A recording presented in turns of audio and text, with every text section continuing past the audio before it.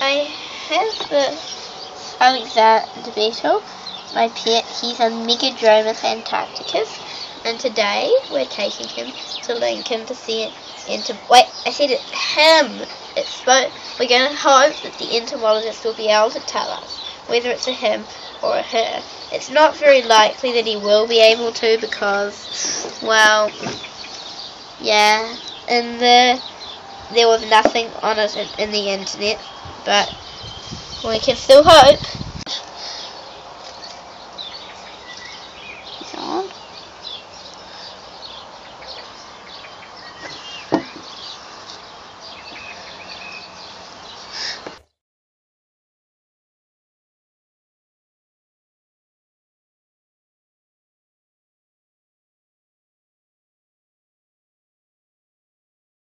So we feed him slugs and swivel centipedes. This obviously isn't his enclosure. He lives in that over there, but we just we just we're just we're just putting him in here so you can see him. He's nocturnal, so this is a like serious stay up late like for him. So well, yeah.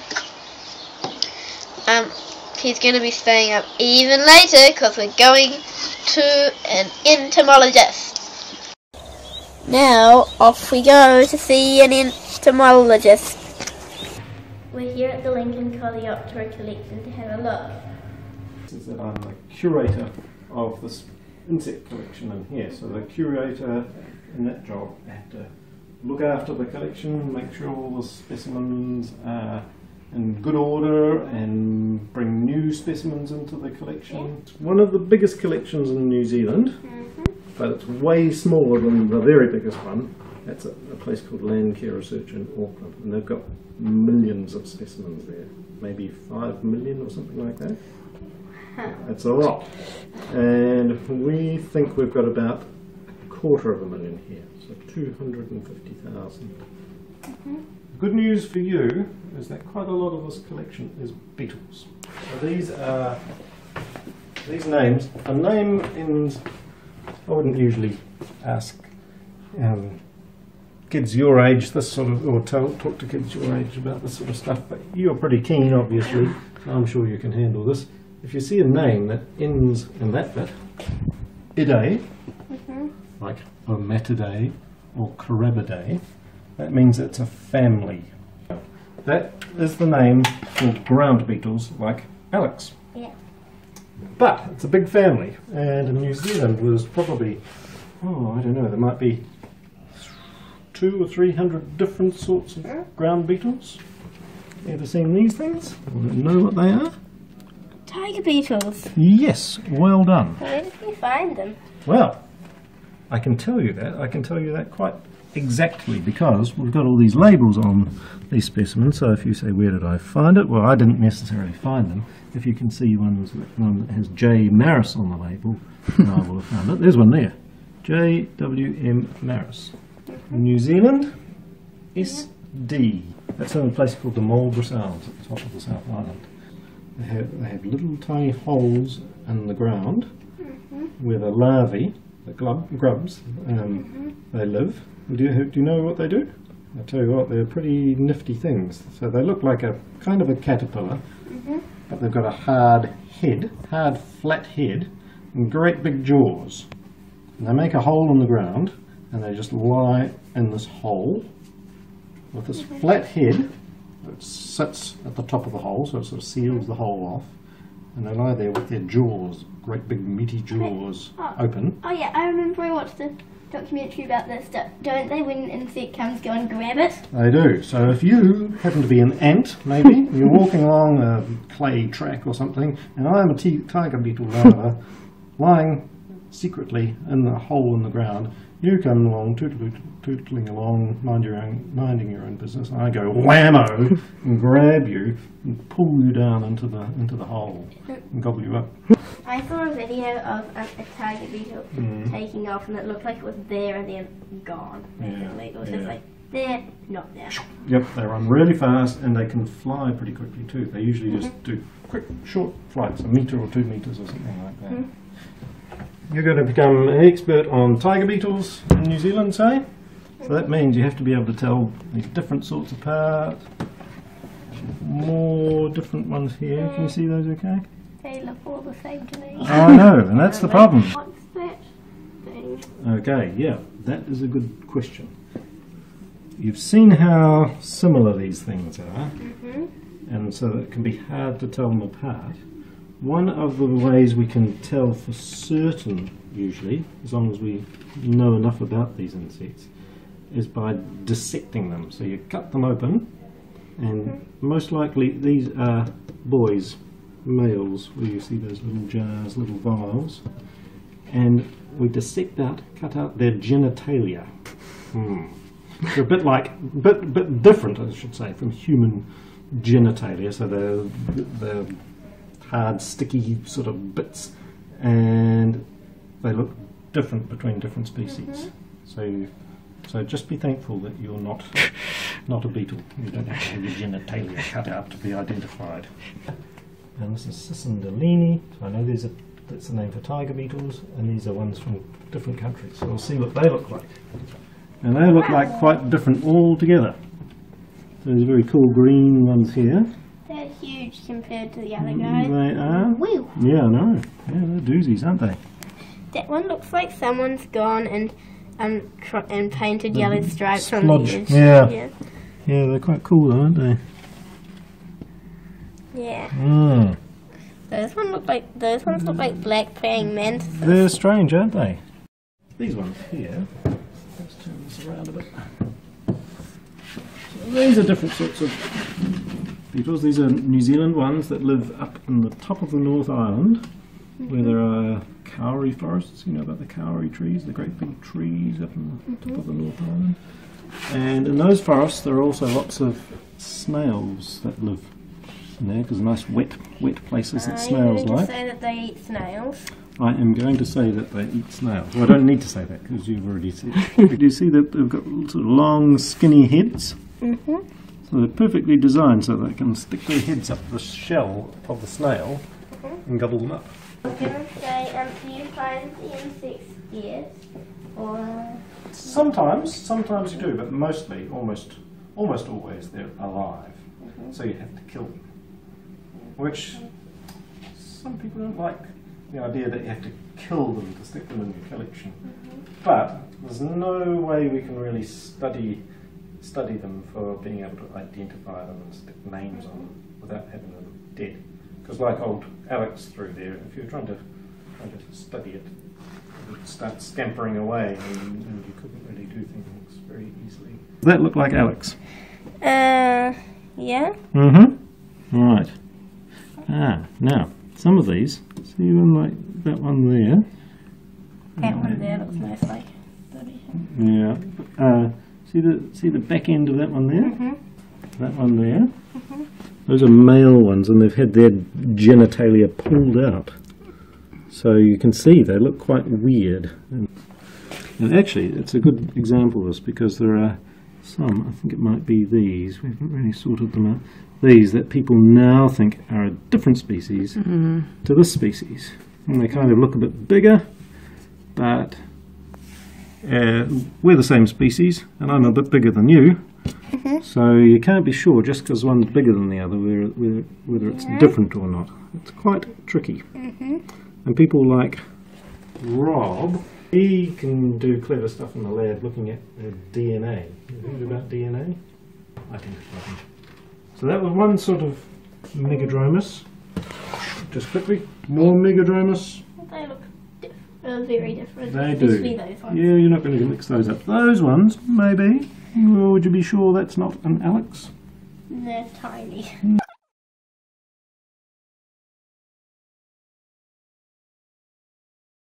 Heaps of them out there, and you need to be a bit of an expert to tell them apart. Mm, testing out. I'm pretty sure that all Megadromus can't fly. So they don't have wings underneath there, like lots of beetles do. And so sometimes the wing cases actually fuse together, they stick together, so they can't actually open them out like that. There are some more beetles. Woohoo. Yes, exactly. See how the wing cases have opened up? The elytra have opened up, and you can see underneath. Hi. They're flying Um, wings. I have a male turtle, and well, it's uh, small, Yeah. you know. Mhm. Um, but um, when I was showing it to someone, I dropped it and the head fell off. Ooh. They're called longhorn beetles because they've got these long, very long antennae. Or Cerambycidae is the family. Cerambycidae. And see that one there? Mhm. Is that the most beautiful beetle in this drawer, or perhaps this whole collection? Would you say?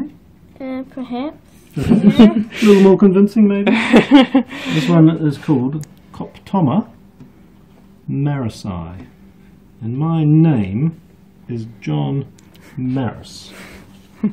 so that got named after me. So you never know, you might get a beetle named after you one of these days. Before we get to that, you know about click click beetles. Yeah, I, I love turning them over and they go. Click! These ones don't really do that very well. These are, these are quite big click beetles, only found in New Zealand. Um, quite big. Those ones are only known from the Chatham Islands. Mm-hmm. Those are only known from the Marlborough Sounds, up on the top of the South Island. And this one is only known from a place called the Three Kings Islands. Oh yeah, I've, I've got one of those in the um box. Oh, have you? Yeah, Ah, a click beetle in that book or a different and one of those click beetles called the Three Kings click beetle. Ah. Three Kings Island click beetle or something. Well, it might not have a, a name on it, a, a scientific name on it, because that that that was a species that I did some research on, and so with another person, we named it Amychus manawatawhi Marris. That's me again, and Johnson. That's another person who's a who's a expert on click beetles. Dung beetles. I'm not very good on dung beetles. We don't we don't have many dung beetles in New Zealand because we don't have much dung. Some of these are out on loan at the moment. These are some of our dung beetles. Um, no, these aren't our native ones actually. That's one of our native dung beetles there. They're tiny. Uh, kind of. Um, these ones are all introduced into New Zealand Mm-hmm. because we've got all these introduced animals that um, produce dung, and where they live, they're used to having things like dung beetles bury it and tidy up the mess. Um, but in New Zealand, we don't have that, so we've introduced these ones to, to do that job. Mm-hmm. Otherwise, we might have a bit of a dungy sort of a country. We think that these are dung beetles that don't feed on dung. So they could be called not dung beetles. and we think that instead of feeding on dung, they just feed on sort of rotting, rotting plant stuff, a bit like compost in the compost heap. What I mean. That's a proper dung beetle. Yeah. Yeah, yeah, that's not bad, is it? The, the black pins in these drawers should also tell you that they're from overseas. Yeah, there's a nice one there. Uh, yeah. Yeah, that's kind of cute. For a dung beetle, that's not a bad one, is it? Okay, well, I'll show you our biggest New Zealand stag beetles. We've got about, I don't know, 20 or so stag beetles in New Zealand. And I'll include these guys here. Wow. They're pretty cool, aren't they? Um, so stag beetles are called that because they have these great big jaws that sometimes look like uh, antlers on deer stags. They're fight, fighting each other, Are scrapping. they fighting for females or are they just fighting for no reason at all? No, they're fighting for females. Yeah, isn't that a weird thing? Why would you fight for females? Hmm? Uh, yeah, they try and they try and battle each other so that so they can get a girlfriend. Yeah. Yeah. Have a look at this. Who's that? Oh, giraffe weevil. Yes. So weevils are the or the the true weevils. These aren't actually true weevils. Are the uh, biggest family of insects, biggest family of any sorts of animals in the world. That means it's the most different sorts of them. So Um, What do you know about these? That one's female. Is that one female? That one female. That one female, and those not male. Yes, you are right. So all males, male, male, male, female, female, female. Uh, uh, and this one's the antenna. There at the top of the horn. The other uh, horn, whatever you call it, nose. Rostrum, yeah. your nose is fine. Yep. Yeah, and and the female are at the back. Mm-hmm. Also, you see the back of the wing mm-hmm. cases, and the males have got that Yeah. kind of cool flared look, mm-hmm. 1970s sort of vibe. Mm-hmm. And then see the female there? She just sort of tapers down to a point like that. And these guys are a bit like the stag beetles, mm. is that the males Fight for the females? fight for the females. Mm. These guys sort of do, well, more like a sword fight, I suppose, and go, and then they flick, the, the winner flicks them off the, the branch and they fall down to the ground, that sort of thing. Uh, here are some kind of cool, cool. weevils. Yeah. Those colours are not natural colours. Those are, those are painted on by somebody who was studying them. And these are some weevils that these ones all live on the Chatham Islands, and these ones live down on Stewart Island and nearby. And these ones live down near, well, in Canterbury mostly. But these ones we thought were extinct. We thought they were like the dinosaurs, but they'd all died out. Nobody's ever going to see them alive again. And then there was somebody studying some special plants down near Lake Tekapo, and she found one of these weevils, in fact that one there.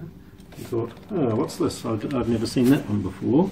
She sent it off to a weevil expert, and he said, aha, that is Hadramphus tuberculatus, the Canterbury knobbled weevil, because it's got bumps on its back. And woohoo, we thought this thing was dead and gone, never to be seen again. But um, we now know that they're alive, except not that one. Mm. But that's that's part of the thing. You see, it's not very nice having killed that weevil, but because that weevil was killed, it was able to be identified, and we could find out what it was, and that meant people realised that that species was still alive, and people have gone back to where it was found, and are now working to protect that area so that more of those weevils can live. So, so conserve them. So sometimes sacrificing, killing one, is good for the rest of them. Mm-hmm. So sometimes you've got to be mean to be good. Mm-hmm. I'm not convincing the true weevils have what these sort of elbowed antennae. See how they've got a bit of a kink in them? Mm, okay. um, which the giraffe weevils don't. They have more or less straight antennae. The smallest insects in our collection. I can't see them. What? Wait. Are they on the ends there? You are right. Yes, they are. What are they? Can you tell what they are? Nope. No? Can't, I can. I can only see a teeny weeny weeny dot. You can't see their wings? No. You can't see their antennae? No. What? You want these? You no, they're very, very small. They are tiny, tiny, tiny little wasps. Wow. What? Mm. And they live inside insect eggs. Weta cabinet. Ah. You've seen wetas? I don't. Nope. Well, you have to get out there and see if you can find some sometime. We've got different sorts of wetas. We have cave wetas. And they live in Okay. nice work. Wow. like that. But they don't actually just live in caves, but they do like to live in sort of holes and trees and things like that. Then we have tusked wetas, quite big. Well, these are called tusked wetas because the males, like this one, can you see? You have to look right over, perhaps. See the big tusks? Oh yeah. A bit like an elephant tusk. Same story as before. Boys fighting the boys, get the girlfriends. Tree weta. Uh, probably the best known sorts of weta in New Zealand. Tree wetas live in Trees. Mostly. Yep. These ones live in trees, and some of the males, particularly the big males, they get to have great big heads and great big jaws. Don't stick your finger around there, okay? Okay. Because you'll have a smaller finger after that. Some are medium big. Those are sort of medium sized. Those are. Call those big? Yeah. I'd call those big. Um, and that. These ones are. That's that, that species is the biggest, and that's the second biggest. Those are eggs. Giant weta eggs, which are way bigger than some of the insects, adult insects we've got. So they're kind of flat, and these are. Well, that's our only New Zealand one. If you can get down low, you can sort of see this kind of flat and squished looking. Oh. Hey, um, I think I might have seen something that looks kind of like one of those. Um, Mhm. kind of. Um, it was under some gl- glass, and I thought it had been squished. Oh, really?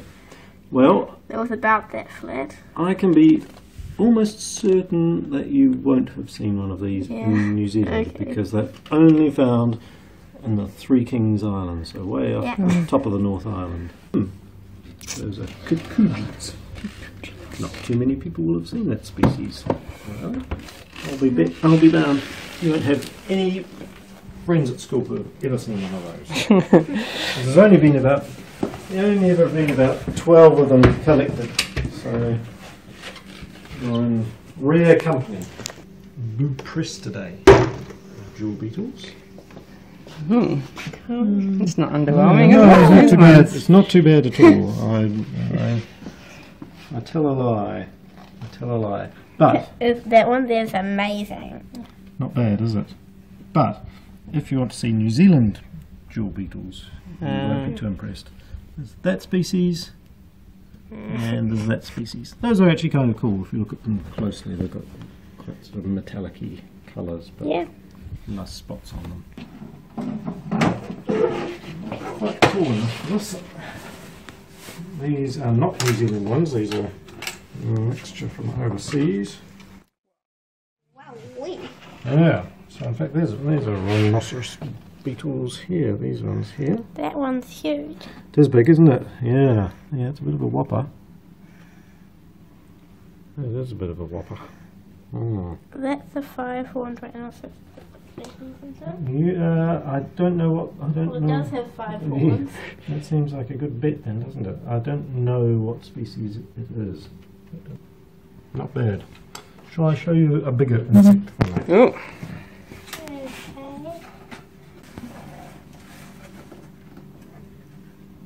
Stick insect. Yes!